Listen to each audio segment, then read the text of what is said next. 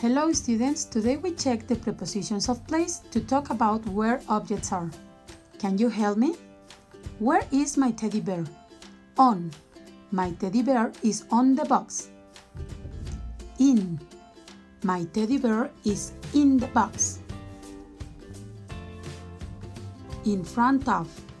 The teddy bear is in front of the box. Under.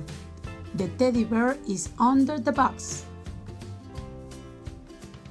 Next to. The teddy bear is next to the box. Behind. The teddy bear is behind the box. Now, to consolidate the topic, help me. Look and say, where is the monster? Where is the monster? Where is it? Where is it? In front of, behind, under, on, or in? Where is the monster? Where is it? Where is it? On the ball. On the ball. Where is the monster? Where is it? Where is it? Behind the ball. Perfect.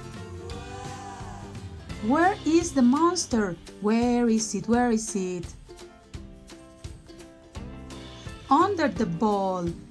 Great, under the ball. Where is the monster? Where is it? Where is it?